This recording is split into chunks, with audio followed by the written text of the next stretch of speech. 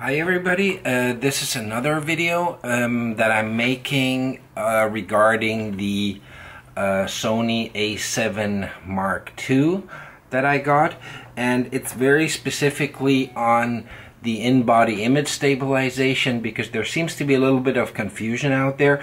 Um, I myself found videos and articles telling you that the uh, in-body image stabilization that usually is five axis becomes only three axis when you put on a lens that does not communicate with the camera body.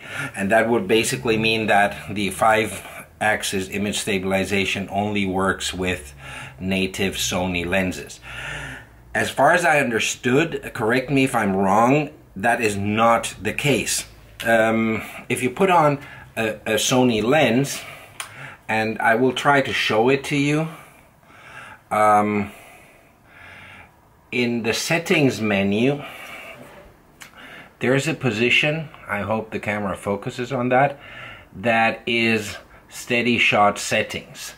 And I cannot, if I select that, um, it gives me an option for automatic or I can manually set. And this is the, the key thing. Uh, this option is not available if I have a Sony lens on. So I will put on another lens. I have a Nikon lens here on an adapter. Um, and if I put this one on and go on into the menu, this position becomes available. Let me try and get this uh, close. Maybe you can, okay, here I go. And here I can set the focal length.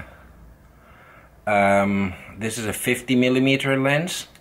So I set it to 50 millimeters.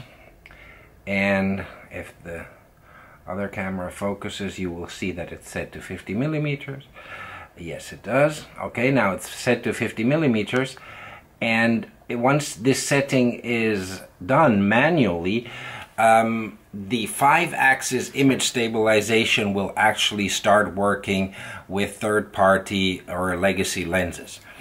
And this was not an essential thing to me, but I got a little bit confused myself after getting the camera because I was reading these articles saying that the five axis image stabilization only works with Sony lenses or lenses that have connections or, or, electronic connections that communicate with the camera. The essential thing is that the camera needs to know the focal length of the lens that is attached to the camera. And you can set it manual. And since I'm actually using this camera as a platform for many different lenses, I even set the, the, the option to switch the focal length to my uh, um, C4 to the uh, custom 4 button and there I can just go through the different uh, options and it, it, goes basically let me just check this for you um, a huge variety of focal lengths. It starts at 8 8 millimeters and goes up to wait I mean 1000 millimeters. So any option you have and the steps in between say I have a Voigtlander 15 millimeter lens I have a 15 millimeter option. Um, anything that you may have uh, will be covered.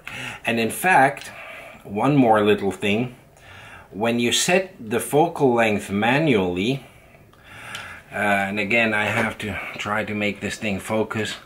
Up here the camera will indicate that the in-body image stabilization is active and the focal length it is set to manually.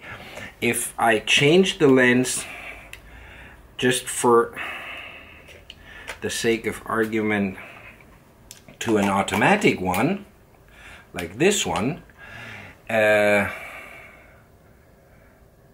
and uh, the focal length in this little indicator is gone. Uh, and that means that the image stabilization is active and you assume that it's uh, active according to the the electronics in in the camera system. So uh, you would just say um, it reads the focal length from the lens.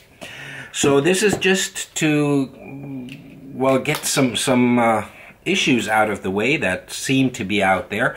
Um, I hope I could help some people because if you want to buy a camera like this, if you want to invest, and maybe you're specifically looking for a solution that will be uh, like a universal platform like I use it for. I have many Nikon lenses, older ones, newer ones, uh, Leica lenses, Canon lenses, and I'm happy that I can use all these lenses with the image stabilization that the Sony provides. So I hope I could help some of you and um, keep watching my channel for news, for some updates. Uh, there might be something coming up soon uh, on a camera that I'm planning to get and um, stay tuned and uh, I hope you enjoy. Thanks, bye-bye, and see you back soon.